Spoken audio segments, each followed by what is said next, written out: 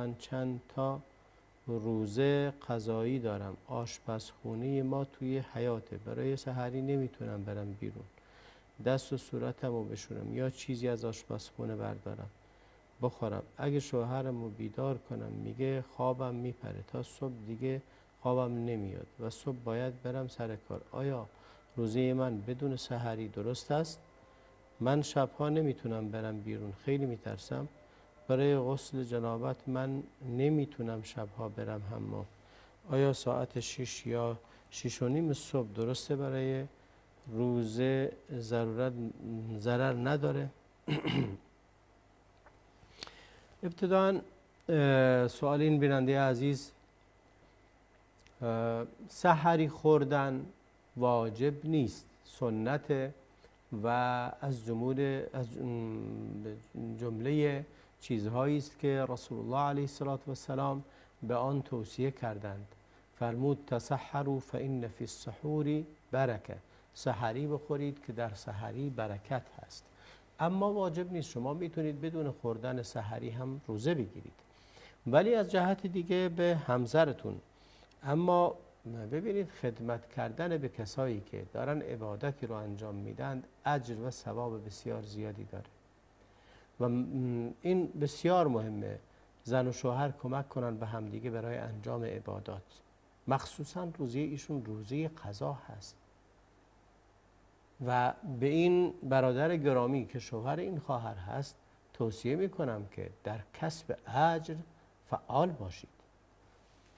رسول الله علیه السلام میفرماید که هر کسی غذا بده به یه روزداری در روزه اون شریکه. یعنی اجری داره مثل اجر روزدار ولی از اجر روزدار کم نمیشه. یه اجر دیگه خداوند بهش میده.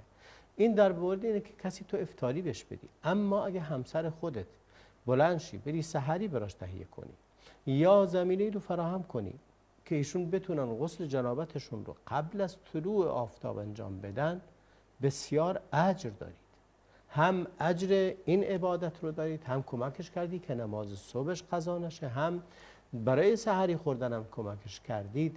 اجر و ثواب این عبادت رو دارید. این یه مطلب مطلب دوم اجر معاشرت به معروف رو داری که خداوند دستور داد. فرمود و عاشروهن بالمعروف. با معاشرت معروف یعنی به خوبی و نیکی رفتار کنید با همسرتون. معروف یعنی هر چیزی که عالی و خوب هست.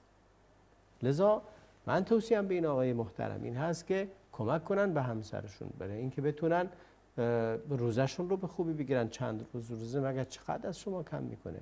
حالا می‌خوای صبح سر حال بری سر کار زودتر بخواب. ببینید شما اگه سر شب بخوابید ببینید چقدر وقت دارید برای اینکه بخوابید. مشکل اینه که شما از همه وقتهای دیگهتون حاضر نیستید بزنید. از اینکه بشینید ساعتهای طولانی چت کنید. این رو نمی‌زنید. حاضر نیست ساعت طولانی نگاه به تلویزیون و سریال و فیلم بکنید. این رو نمی‌زنید. ولی از اون طرف که کمکی بکنید به همسرتون اون رو می‌زنید. بیدار شدن برای وقت سحر. ببینید اگر قرار باشه یک رب نیم ساعت قبل نماز صبح شما بیدار بشید همسرتو بیدار کنی براش غذا تهیه کنید دو رکعت خودت نماز بخونی و دعا کنی. خداوند برکت فراوانی بهت میده. بعد نماز صبح تو به جماعت بخون بعد هم برو سر کار. و شما اگه ساعت ده شب بخوابی یازده شب بخوابی تا صبح تا ساعت پنج می‌دونی چقدر میشه؟ شما هفت ساعت خوابیدید اگه ده شب بخوابی. یازده بخوابی شش ساعت خوابیدی. و بعد از صبح هم ساعت 6 تا ساعت 8 وقت داری. حالا شما ساعت 8 میری سر کار یا 7 میری سر کار. بشین تسبیحات کن تلاوت قرآن کن. چیزی ازت کم نمیشه و اینا بهانه است که شیطان برای شما میتراشه برای اینکه از اجر محرومتون کنه.